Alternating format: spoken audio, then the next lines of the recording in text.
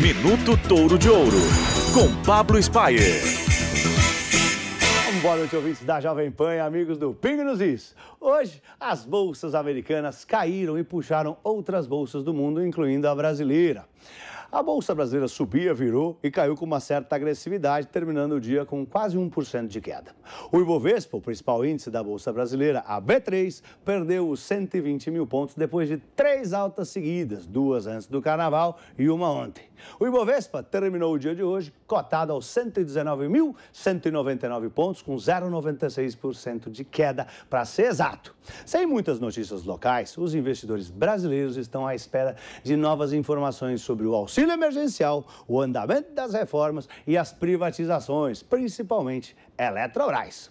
Já nos Estados Unidos, diversos indicadores financeiros, dados econômicos divulgados ontem e hoje, trouxeram cautela para as bolsas de Nova York. Aliás, as bolsas de Nova York vêm tendo recordes históricos constantemente, máxima atrás de máxima. Só durante o carnaval, a gente viu dois touros de ouro seguidos no Dow Jones, que é o, o principal índice americano e um dos mais antigos por lá.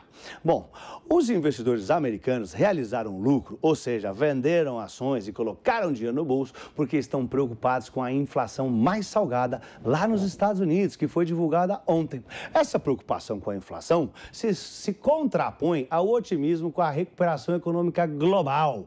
Né? Essa recuperação pode ser impulsionada pela, pela vacinação das populações.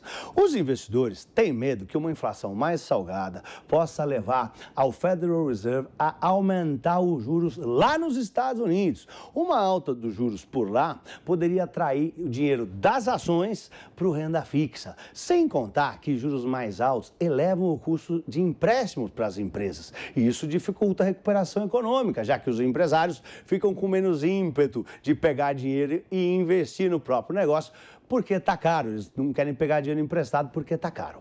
Vale lembrar que essa preocupação com a alta de juros lá nos Estados Unidos se dá mesmo com o Banco Central americano, Federal Reserve, sendo claro que não deve subir os juros até setembro de 2023. Os juros americanos estão próximos de zero, gente. Na verdade, eles são uma banda entre zero e 0,25.